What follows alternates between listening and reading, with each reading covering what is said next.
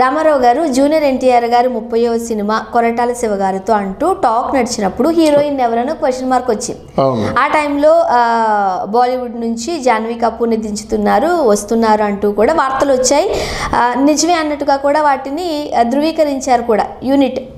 అయితే ఇప్పుడు రాజమౌళి గారి సినిమాకి జాన్వీ కపూర్ ఆల్రెడీ సైన్ చేశారా అంటూ కూడా వార్తలు వస్తున్నాయి.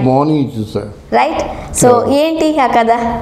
ఇది ఇక్కడ ఈ మధ్యకాలంలో రాజమౌళి చాలా ఆస్కార్ అవార్డు వచ్చిన దానికంటే తలకాయ నొప్పులు ఎక్కువైపోయామ్మా నిజంగా రాజమౌళి కాబట్టి ఈ బాధలన్నీ పడ్డాడు కానీ ఆయనకేంటమ్మ ఈ బాధలు? ఇక్కడికి వస్తే హాయిగా స్వాగతం చెప్పి బ్రహ్మాండంగా సెలబ్రేషన్స్ రెండు రోజులు మూడు రోజులు చేసుకోవాల్సింది పోయి లక్ష తొంభై లోకలోకలు లక్ష తొంభై పాలిటిక్స్ చివరికి ఆయన జరిగే ఆస్కార్ మాట ఏమో చాలా విమర్శలు పాలయ్యారు. గాని పాపం రాజమౌళి గారు వాళ్ళ ఫ్యామిలీ మాత్రం ఎంత హింస వాళ్ళ ఫ్యామిలీ అంతా ఉన్నారు. డబ్బులు ఖర్చు పెట్టుకొని అక్కడ ఉన్నారు. ఆస్కారు పట్టుదలగా తీసుకొద్దాం అనేటువంటి పట్టుదలతో ఉన్నారు. ఇన్ని చేసిన తర్వాత వాళ్ళకి కనీసం సెలబ్రేషన్ లేకుండా నోటుకొచ్చిన మాట మాట్లాడుతున్నారంటే నాకు చాలా బాధగా ఉంది. ఎవరికి కూడా ఇంత బాధ కలగకూడదు. మళ్ళీ ఇప్పుడు ఈ మధ్యకాలంలో ఒక చిన్న సినిమా చేద్దామన్న ఆలోచనతో ఉన్నట్టుగా రాజమౌళి గారు ఒక ఒక ఒక- ఒక ఇంటర్వ్యూలో చెప్పాడు. ఎందుకంటే మర్యాద రామన్న లాంటి సినిమా ఒకటి చేద్దాం. ఎందుకంటే ఈ బరువు ఈ బరువు ఎక్కిపోయి తర్వాత మనశ్శాంతి లేకుండా ఉన్నాడు కనుక కొంచెం ప్రశాంతంగా ఒక సినిమా తేలికపాటి సినిమా చేద్దామని ఆలోచన ఉంది. బహుశా ఆ సినిమాకనేమో జాన్వీ కపూర్ సైన్ చేయించుకుంది. తెలియదు కానీ జాన్వీ కపూర్ బాగుంది. అది మొత్తం అంటే చూ ఆవిడలో ఉన్న గొప్పతనం ఏంటంటే మీరు చెప్పారు బాలీవుడ్ నుంచి జాన్వీ కపూర్ రాలేదు. జాన్వీ కపూర్ ఇక్కడే ఉంది. హైదరాబాద్ జూబ్లీ హిల్స్లోనే ఉంది. అప్పుడెప్పుడో శ్రీదేవి గారు తీసుకున్న ఇంట్లో ఉందన్నమాట. అసలు శ్రీదేవి నాగార్జున చుట్టూ తిరిగి నాగార్జున కొడుకు చైతు లేడు. ఆ చైతు పక్కనే జాన్వీ కపూర్ని యాక్ట్ చేయించమని చెప్తే తప్పకుండా చేస్తాను అని కథ కోసం చూశాడు. ఈలోగా ఆవిడ ఎగిరిపోయింది ఆకాశంలోకి.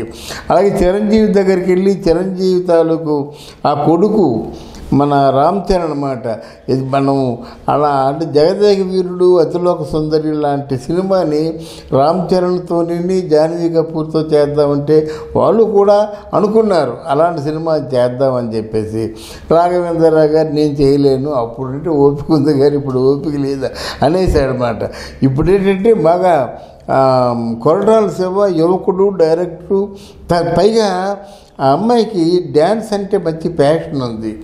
డ్యా- డ్యా- డ్యాన్స్ అంటే ఎవరు బాగా చేస్తారు? ఇటు తారక చేస్తాడు అటు అర్జున్ అర్జున్ తారక చేస్తాడు అర్జున్ చేస్తాడు రామ్ చరణ్ చేస్తాడు. తారక తారక అంటే బ్రహ్మాండం సందడి మాట. అందువల్ల ఆవిడ ఎగిరి గంతేసి మరి ఒప్పుకుందన్నమాట. ఆ సినిమా చెప్పా కదా ఆ సినిమా అవ్వకముందు నెక్స్ట్ రాజమౌళి ఓ సినిమాకి డైరెక్ట్ ఓ సినిమాకి తీసుకుంటున్నాడు. తర్వాత త్రికురం శ్రీనివాస్ కూడా ఒక సినిమా తీసుకుంటున్నాడు.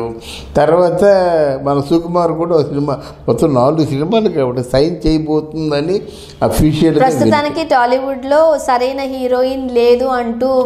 నడుస్తున్న టైంలో ఇప్పుడు జాన్వీ కపూర్ గారు మంచి లడ్డూలా దొరికినట్టే. లడ్డూలో దొరికింది. పైగా ఆ వేటగాడి సినిమాలో ఆకచాటు పింతడిచే అనే పాటను చూసారా?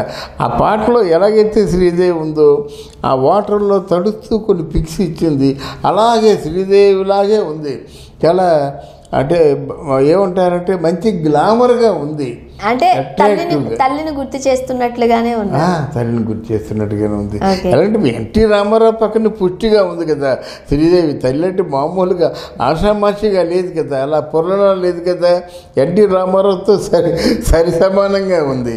అందువల్ల ఈవిడ కూడా సరి సమానంగా కాదు కానీ మంచి నవయవనంలో ఉన్నట్టు వయసు అంతే కదా వయసు పెద్ద వయసు కాదు కదా నవయవనంలో ఉన్నట్టుగా ఉంది మాట రైట్ ఇప్పుడు రాజమౌళి గారి సినిమా అంటే కనీసం ఒక ఐదేళ్ళు మొత్తం అందరూ డేట్స్ ఇచ్చి కూర్చోవలసిందే అంటూ టాక్ ఉంది కాబట్టి. మరి జాన్వీ కపూర్ ఇస్తారా? అంటే అలా కాదు. రాజమౌళి చిన్న సినిమాలు చేస్తున్నాడు కదా ఈ మధ్యకాలంలో. ఒకటో రెండో చిన్న సినిమాలు చేయాలనుకుంటున్నాడు. ఎందుకంటే ఆ తల మీద బరువును దించేసుకోవాలన్నమాట. ఏ ఎందుకు? అనకూడదు కానీ త్రిపులారు.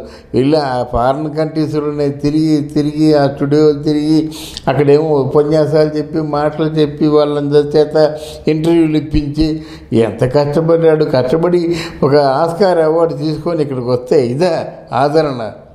ఇలా బుద్ధి జ్ఞానం ఉండొద్దు రిసీవ్ చేసుకోవద్దు వెల్ గ్రౌండ్ వెల్కమ్ చెప్పొద్దు. ఆయన కష్టానికి తగినట్టు ప్రతిఫలం ఒక పూలమాల వేసి నాయన తెలుగువారు తాలూకు పరువు నిలబెట్టావు. తెలుగువారు అంటే తెలుగు చలనచిత్ర శ్రేమ ఒక గర్వకారణంగా ప్రపంచంలో తెలుగువారు ఎక్కడున్నప్పుడు కూడా గర్వకారణంగా మిగిలిపోవాలి అనే మాట అంటే ఆయనకు తృప్తిగా ఉండేది కదా. అందువల్ల ఆయన హీఈ్ నాట్ హ్యాపీ మెంటల్లీ ఆయన తాలూకు ఆనందాన్ని వ్యక్తం చేస్తూ మాట్లాడుతున్న మాటలు కనిపించడం లేదు. ముఖ్యంగా శ్రీదేవి గారి విషయానికి వస్తే చాలా కమర్షియల్ సినిమాల్లో చేసినప్పటికీ కొన్ని టిపికల్ క్యారెక్టర్స్ ఉన్నాయి. జగదేకి వీరుడు అతులోక సుందరిలో ఆమె కనిపించినంత అందంగా ఇంకే సినిమాలోనూ కనిపించలేదా అన్నట్టుగా ఆ రాణి గెటప్ లైక్. అంటే దేవత లాగా దే- దేవకన్య. దేవకన్య లాగా ఓకే అండ్ మనం క్షణ క్షణం సినిమా చూసినట్లయితే అది. ఇంకా ఇంకా మోడర్న్గా కనిపిస్తూ అవునవును. మరి ఇప్పుడు జాన్వీ కపూర్ని రాజమౌళి గారు ఎలా చూపించబోతున్నారు? శ్రీ- శ్రీదేవిని మించినట్టు చూపిస్తాడు. శ్రీదేవికి ఏంటంటే ముక్కు ఆపరేషన్ అయిన తర్వాత మనం చూడగలిగాం. నేను అలా కాకుండా న్యాచురల్గా శ్రీదేవిని మించిన అందాన్ని చూపించగలడు. ఎవరు చూపిస్తారు? ఇటు రాజమౌళి చూపిస్తాడు సుకుమారు చూపిస్తాడు త్రికృ శ్రీనివాసు చూపిస్తాడు కొరటాల శివ. ఏమండి కెమెరామ్యాన్లకి ఏంటండి లడ్డూలాగా అమ్మాయి ఉందిగా ఉండాలి కానీ బ్రహ్మాండంగా ఆడుకుంటారు వాళ్ళు. అమ్మాయిలో అందం కనిపించారు కనిపిస్తే వాళ్ళు ఆడుకుంటారు.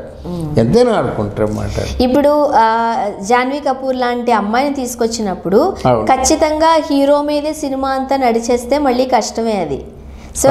తన క్యారెక్టర్ కూడా ఇంపార్టెన్స్ ఉండాలి.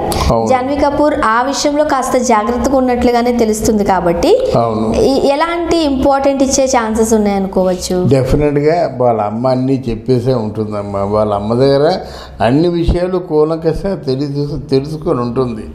కనుక వాళ్ళు ఇప్పుడు వాళ్ళు చెప్పాల్సిన అవసరం లేదమ్మా. ఇప్పుడు అంతకుముందు జనరేషన్ అంటే అనకూడదు కానీ శ్రీదేవికి వాళ్ళ అమ్మ దగ్గర కూర్చొని ఆ హీరోతో ఎలా చేయాలో అన్నీ చెప్పేది. ఇప్పుడు అలా కాదు ఇప్పుడు వాళ్ళకి రుమెన్స్ గిమెన్స్ ఏం చేయాలి ఎలా చేయాలి అనేది చెప్పాల్సిన అవసరం లేదు అది.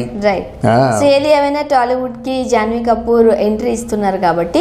మంచి సక్సెస్ చూడాలని మనస్ఫూర్తిగా కోరుకుందామండి డెఫినెట్గా Thank you so much. డెఫినెట్గా జాన్వీ కపూర్ తెలుగులో one of the best actress అవుతుందని ఆశిస్తాను thank you so much thank you Ramarao garu junior NTR గారు ముప్పయో సినిమా కొరటాల శివ గారితో అంటూ టాక్ నడిచినప్పుడు హీరోయిన్ ఎవరైనా క్వశ్చన్ మార్క్ వచ్చింది ఆ టైంలో బాలీవుడ్ నుంచి జాన్వీ కపూర్ని దించుతున్నారు వస్తున్నారు అంటూ కూడా వార్తలు వచ్చాయి. నిజమే అన్నట్టుగా కూడా వాటిని ధృవీకరించారు కూడా యూనిట్. అయితే ఇప్పుడు రాజమౌళి గారి సినిమాకి జాన్వీ కపూర్ ఆల్రెడీ సైన్ చేశారా అంటూ కూడా వార్తలు వస్తున్నాయి. మార్నింగ్ చూసా. రైట్ సో ఏంటి ఆ కథ? ఇది ఇక్కడ ఈ మధ్యకాలంలో రాజమౌళి చాలా ఆ ఆస్కార్ అవార్డు వచ్చిన దానికంటే తలకాయ నొప్పులు ఎక్కువైపోయామ్మా నిజంగా రాజమౌళి కాబట్టి ఈ బాధలన్నీ పడ్డాడు కానీ ఆయనకేంటమ్మా ఈ బాధలు? ఇక్కడికి వస్తే హాయిగా స్వాగతం చెప్పి బ్రహ్మాండంగా సెలబ్రేషన్స్ రెండు రోజులు మూడు రోజులు చేసుకోవాల్సింది పోయి లక్ష తొంభై లోకలోకలు లక్ష తొంభై పాలిటిక్స్ చివరికి ఆయన ఆస్కార్ మాట ఏమో కానీ చాలా విమర్శలు